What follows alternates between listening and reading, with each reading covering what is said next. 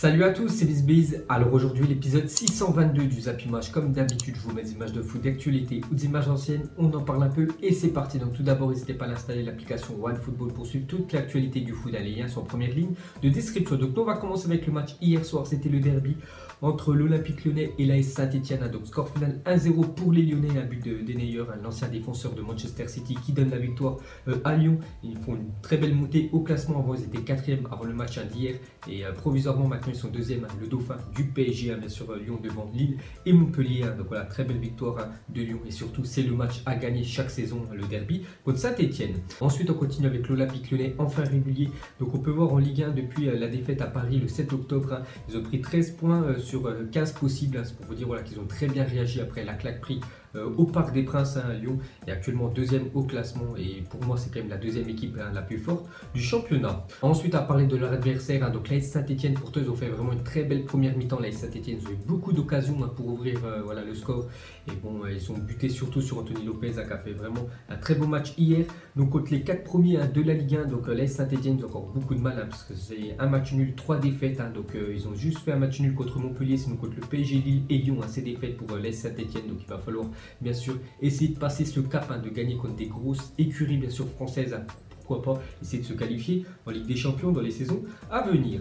Et pour finir hein, sur cette rencontre, on va parler de Raphaël, le défenseur brésilien de l'Olympique lyonnais, donc il est scandalisé par son expulsion, parce que c'est vrai qu'hier il a pris un carton rouge, donc Lyon finit à 10 contre 11, donc l'énorme coup de gueule de Raphaël contre l'arbitrage, donc il a dit à la fin du match, j'ai revu 10 fois les images, pour moi il n'y a même pas faute, ne dois pas prendre de carton, je touche le ballon, je fais ce qu'il faut. Donc voilà ce qu'a dit euh, Raphaël. Juste, je vous ai pris une petite capture d'écran quand il a fait sa faute. Donc déjà, on voit que ses deux pieds ne touchent plus le terrain. Donc euh, même s'il touche le ballon, bien sûr, c'est excès euh, d'engagement. Tu n'as pas le droit de tacler comme ça parce qu'il aurait touché la jambe de Yann Mbila. Bah, voilà, il l'aurait blessé pendant au moins deux ans. Bien sûr, il aurait cassé la jambe. Donc pour lui, il n'y a, pas faute. Et bien sûr, hein, c'est mérité quand même le carton rouge qu'il a pris. Et pour finir hein, sur le match d'hier, donc Nabil Fekir a confirmé en zone mix qu'il n'était pas blessé et qu'il serait pour le match face à Manchester City parce qu'en fait Nabil Fekir est sorti à la mi-temps hier à remplacer donc il y en a beaucoup ils ont cru qu'il était blessé donc il a confirmé qu'il n'est pas blessé et sera bien apte mardi soir contre City au parc OL. Ensuite regardez le tirage de l'Euro 2019 U21 qui se déroulera en Italie du 16 au 30 juin 2019 hein. donc c'est l'Euro Espoir donc il y a trois groupes hein, le groupe A, B et C donc nous c'est le groupe C hein, qui nous intéresse parce qu'il y a l'équipe de France voilà, qui est qualifiée donc on va jouer contre l'Angleterre, la Roumanie et euh, la Croatie donc c'est quand même un groupe plutôt élevé et c'est surtout le groupe A qui est le groupe de la mort avec l'Italie, Espagne, Pologne et la Belgique. Ensuite, j'ai un coup d'œil aux affiches de la journée, on va dire des grosses équipes. Hein. Donc déjà, on peut voir que le PSG à 17h joue contre Toulouse. À 18h, c'est la Juventus qui reçoit Spal. Sinon, en gros choc, a Tottenham contre Chelsea. Euh, cet après-midi à 18h30, sinon il y a l'Atlético de Madrid contre le Barça à 20h45, on en parlera un petit peu après. Et surtout à 21h, il y a la finale retour de la Copa Libertadores entre River Plate et Boca Junior.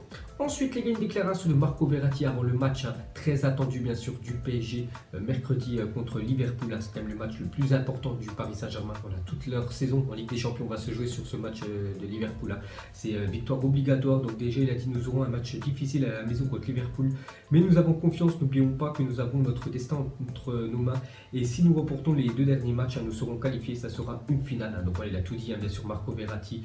Donc déjà, cet après-midi, il joue contre Toulouse. Donc vraiment, on va dire match pas très important parce que déjà le PSG est quasiment déjà champion bien sûr de France, mais le plus important c'est mercredi, il va falloir tout donner hein, bien sûr contre les Reds de Liverpool. Ensuite, on va parler de Thomas Tuchel a déclaré que les blessures de Neymar et Mbappé n'étaient pas graves et qu'il était possible qu'ils jouent contre Liverpool. Hein. donc euh, normalement, enfin je pense quand même qu'ils seront forfaits cet après-midi contre Toulouse. il va prendre aucun risque pour que ces deux méga stars hein, soient dispo mercredi contre les Reds. Et pour finir avec eux, regardez le poids considérable que pèsent Neymar et Mbappé dans l'effectif du PSG. Donc euh, avec ces deux-là en Ligue 1, ils sont appliqués quand même sur 51% des buts, hein. quasiment un but sur deux du PSG. Donc c'est soit Neymar ou Mbappé qui a appliqué bien sûr sur le but en Ligue des Champions, c'est 55%. C'est pour ça qu'il faut qu'il soit apte bien sûr mercredi. Et pour finir hein, sur cette rencontre, on va terminer avec euh, Liverpool. Hein. On peut voir qu'il y aura 2000 supporters de Liverpool qui sont attendus dans le parcage visiteur du Parc des Princes mercredi prochain. Donc ça s'annonce vraiment très bouillant au Parc des Princes. Ensuite direction l'Espagne, regardez la une, un journal Mondo Deportivo aujourd'hui Donc déjà on peut voir le match de l'Atlético contre le Barça ce soir. donc ça va être les retrouvailles de Antoine Griezmann contre le Barça, le club qui devait rejoindre l'été dernier, mais il a préféré rester du côté de l'Atlético et surtout en gros titre, en plein milieu on peut voir le scandale Ramos. Pourquoi? Parce qu'on peut voir que Sergio Ramos aurait été contrôlé positif avec le Real Madrid. Donc en fait euh, Sergio Ramos était contrôlé positif à un test antidopage le soir de la finale de la Ligue des Champions 2017 avant d'être finalement blanchi par euh, l'UEFA. Donc voilà ce qu'ont révélé Football Leaks quand même hier. C'est une sacrée quand même nouvelle sur euh, Sergio Ramos. Donc le soir de la victoire du Real Madrid contre la Juventus l'été dernier, vous avez gagné 4-1. Bah, Ramos en fait était passé un contrôle antidopage. Il a été révélé positif. Hein. Donc voilà les gars, cette nouvelle sur SR4 hein, bien sûr qui va enflammer l'Espagne. Ensuite on va parler de Dortmund qui cible Torgan Hazard en cas de départ de Christian Pulisic cet hiver. Hein, donc le petit frère euh, d'Eden Hazard pourrait quitter son club du Borussia Mönchengladbach et aller dans un plus gros club, le Borussia Dortmund. Là, c'est Christian Pulisic qui quitte le club de Dortmund. Ensuite, d'après RMC Sport, l'International Football Association Board souhaiterait euh, modifier une règle sur penalty que le gardien soit autorisé à n'avoir qu'un pied sur sa ligne au moment du tir contre les deux actuellement, ce qui lui permettrait de s'avancer au moment du tir. Donc voilà, peut-être prochaine modification sur euh, les tirs au but. Donc le gardien Maintenant, on pourra peut-être avoir juste un pied et l'autre pied, on peut dire, euh, devant, parce qu'avant, tu es obligé d'avoir euh, les, deux pieds sur la ligne. Donc peut-être ça aidera, on peut dire, les gardiens à arrêter plus de pénalty. Ensuite, une déclaration de Sébastien Haller, donc euh, l'attaquant français de Francfort. Il a dit J'aurais pu aller en Chine pour beaucoup d'argent, mais je pense que quiconque joue au football de façon professionnelle veut le faire au plus haut niveau possible. L'argent n'est pas le plus important. Donc voilà ce qu'a dit Sébastien Haller. Donc lui, il pense pas du tout à l'argent. Et je pense à un autre Français hein, qui est parti l'année dernière du côté de la Chine, Anthony Modeste. On a reparlé hein. il y a quelques jours hein, qu'il est revenu en, Allemagne parce que le niveau là-bas est très faible. donc il préfère revenir bien sûr voilà, en Europe, gagner moins d'argent et que le niveau bien sûr soit correct. Ensuite, le directeur sportif du FC Séville a confirmé que le club andalou allait lever l'option d'achat d'André Silva de 38 millions d'euros. Hein. vous vous souvenez de ce joueur qui appartient toujours au Milan Donc euh, la saison dernière, il a fait une saison vraiment catastrophique. Hein. Je crois a marqué seulement 3 buts hein, tout au long de la saison. C'est pour ça que cette année, le Milan l'ont prêté à Séville et c'est la révélation. Cette année, à Séville, il marque beaucoup de buts. Voilà, André Silva. Donc euh, on peut voir voilà, que enfin, Séville a relevé l'option d'achat de 38 millions d'euros. Ensuite, à parler d'un autre joueur aussi qui appartient à un club, mais voilà, qui est prêté dans un autre club et il marque beaucoup. Hein, donc officiel, Paco Alcacer signe définitivement avec Dortmund contrat jusqu'en juin 2023 pour 23 millions d'euros plus 5 millions d'euros de bonus. Hein. donc il a été prêté par le Barça à Dortmund et Dortmund hein, maintenant c'est officiel. ils, ont, ont proposé un contrat, ils ont levé l'option d'achat. donc euh, on peut voir que ça va rajouter 28 millions d'euros dans les caisses du FC Barcelone. Ensuite, officiel, Pep Guardiola annonce 10 à 12 semaines d'absence pour Benjamin Mendy, a tout juste opéré du genou. Hein. donc, j'avais montré une photo où il était opéré la semaine dernière. Donc, quasiment voilà, pendant deux mois, on ne verra pas de Benjamin Mendy. Hein. donc, bon rétablissement à lui. Ensuite, à parler de Gérard Piquet, indiqué vouloir racheter un club de football et créer une nouvelle compétition. Hein. donc, je ne sais pas du tout c'est quel club que veut racheter euh, Gérard Piquet. Je ne sais pas du tout si c'est quelle compétition qui veut créer un Gérard Piquet. Mais on peut voir voilà, qu'il a des projets plutôt ambitieux. Ensuite, euh, Rudy Garcia a lassé des performances de Jordan Amavi, hein, donc son défenseur gauche à l'Olympique de Marseille, et a établi une liste de latéraux avisés. On peut voir qu'Alberto Moreno, enfin, donc contrat avec Liverpool en juin prochain, y figure. Hein, donc, euh, c'est un défenseur espagnol hein, de Liverpool, rarement quand même titulaire, Alberto Moreno. Donc, on peut voir voilà, que ce serait la priorité de l'OM pour l'été prochain. Ensuite, officiel, forfait en équipe de France, Pogba et Anthony Martial sont bien présents dans le groupe des Red Devils qui affrontera ce week-end à Crystal Palace. donc, très bonne nouvelle pour l'équipe de France que Marcel et euh, Paul Pogba, qui étaient absents hein, du rassemblement de l'équipe de France, hein, sont dans le groupe de Manchester ce week-end. Ensuite, on va parler de Griezmann est un agneau face au Barça. Donc, on revient sur le match, hein, le choc ce soir entre l'Atlético et le FC Barcelone. Parce que c'est vrai que Griezmann a beaucoup de mal contre le club qui devait signer cet été. Parce qu'en tout, c'est 8 matchs de Liga sans marquer face euh, aux Catalans pour Antoine Griezmann. Donc, on verra si ce soir il va débloquer la situation.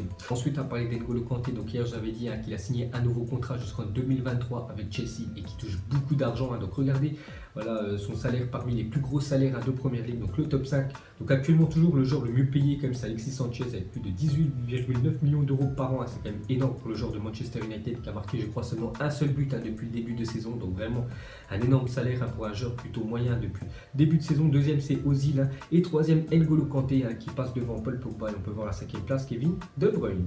Ensuite regardez la magnifique équipe de Palerme s'ils avaient gardé leur meilleur joueur ces dernières saisons. Donc ça termine dans le top 4 euh, en Serie A selon vous. Hein. donc bien sûr, donc il y aurait eu Cavani, Bellotti, Dybala, donc trois énormes joueurs. Hein. donc on peut voir aussi Pastore, on peut voir Glick derrière, on peut voir Barzagli aussi et Darmian, le défenseur droit de Manchester United, joué à Palerme avant. Donc Palerme actuellement ça joue en deuxième division italienne et c'est vrai qu'ils forment de très bons joueurs. Et après bien sûr tous ces joueurs-là sont quand même partis dans des énormes club en Europe. Ensuite, une déclaration de Xavi Alonso, ancien joueur du Real Madrid, hein, du Bayern, mais aussi joué euh, avec l'Espagne, il a gagné quand même la Coupe du Monde en hein, 2010 et les deux Coupes euh, d'Europe en hein, 2008 et 2012. Donc il a parlé de Benzema, il a dit j'aime sa façon de jouer, de créer des liens avec ses partenaires. J'ai toujours apprécié ce genre d'attaquant. Je crois que c'est l'un des meilleurs de la dernière décennie quand euh, Karim joue bien, l'équipe joue bien. Donc voilà ce qu'a dit quand même Xavi Alonso sur Benzema. Donc pour lui, c'est l'un des meilleurs numéro 9 quand même sur les dix dernières saisons. Donc après voilà le, l'opinion bien sûr de Xabi Alonso hein, sur Karim Benzema. Ensuite, à parler de Lucas Hernandez, a désormais une plaque à son nom devant le Wanda Metropolitano sur le passage des légendes pour avoir atteint la barre des 100 matchs avec l'Atlético de Madrid. Hein. Donc euh, Griezmann aussi cette euh, plaque-là. Donc tous les joueurs de l'Atlético qui ont plus de 100 matchs, hein, ils ont une euh, petite plaque devant le stade bien sûr de l'Atlético de Madrid. Il y a aussi une, plaque de Thibaut Courtois, l'ancien joueur bien sûr de l'Atlético, mais qui a été, on peut dire, vandalisé parce que maintenant il joue dans le club rival bien sûr, le Real Madrid. Ensuite, à parler de Alfonso euh, Davids, a effectué hier son premier entraînement avec le Bayern Munich pour le jeune Canadien qui arrivait euh, a quelques jours en provenance bien sûr de MLS où il jouait au Whitecaps euh, Vancouver bien sûr avant. Donc il vient d'avoir 18 ans, c'est pour ça qu'il peut rejoindre le Bayern Munich à ses 18 ans et il pourra disputer son premier match officiel à partir de janvier 2019. Et pour finir ce zap image, donc une question vraiment très simple, on va revenir sur la Ligue des Nations qui est officiellement, on peut dire terminée, enfin les phases de groupe. Hein. Donc entre les quatre équipes, hein, donc la Suisse, le Portugal, l'Angleterre et les Pays-Bas. Pour vous, qui va remporter cette euh, première édition de la Ligue des Nations? Donc moi, je mettrais plus une pièce quand même sur le Portugal, hein, voilà, qu'on produit vraiment un très bon jeu, en plus sans quand même CR7 hein, qui pourrait être euh, présent, on peut dire, hein, pour les demi-finales et pourquoi pas une éventuelle finale et surtout les matchs à se dérouler au Portugal. donc ce serait une belle opportunité pour les Portugais de remporter cette première compétition. Donc voilà les gars, la fin des image 622. Donc si ça vous a plu, un petit like et moi je vous ferai l'épisode 623 lundi. Donc moi je vous laisse et je vous souhaite un bon week-end et à la prochaine comme d'habitude. Ciao à tous donc on l'a maquillé avec tes mensonges. Son âme est moche, plus qu'à la maquiller avec tes mensonges. Je sais pas ce qui se passe dans ma tête, parfois. Je voudrais sauver la terre, parfois. Je voudrais la voir brûler. Ça va pas trop, je roule en terre. Trop de haine pour 9 mètres carrés. Tristesse, faut pas.